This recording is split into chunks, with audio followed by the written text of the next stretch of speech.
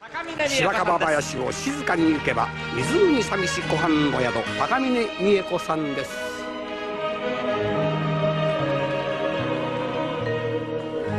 山の寂しい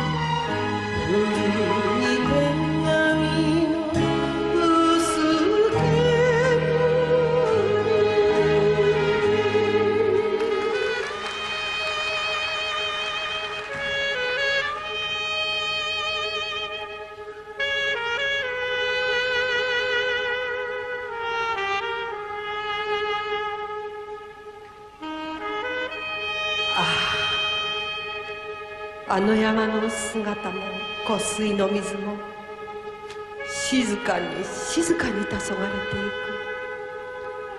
この静けさ。この寂しさを抱きしめて私は一人旅を行く。誰も恨まずみんな昨日の夢と諦めて幼子のような清らかな心を持ちたい。そしてそして静かにこの美しい自然を眺めているとただほろほろと涙がこぼれてくる。ランプ引き寄せふるさとへ。回転はと消す湖畔